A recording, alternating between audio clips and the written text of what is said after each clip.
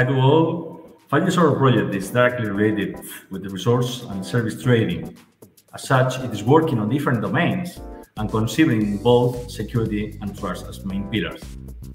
In fact, one of the principles related with the project are zero touch security and zero trust, being both, let's say, embedded in all the designs and developments that we are creating.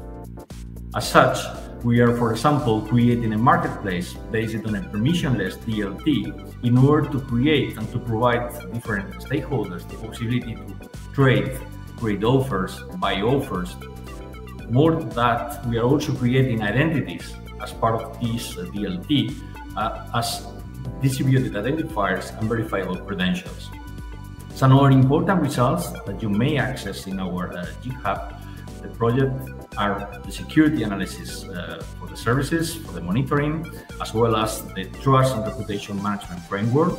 We are also considering security as part of the VPN as a service uh, in the, the network, network service mesh manager. And finally, a trust execution environment where we are creating a manager being able to create and manage all the communication, the secure communications as part of the, of the 5G stakeholder.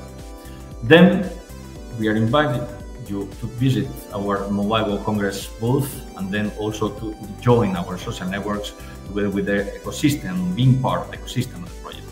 Thanks so much.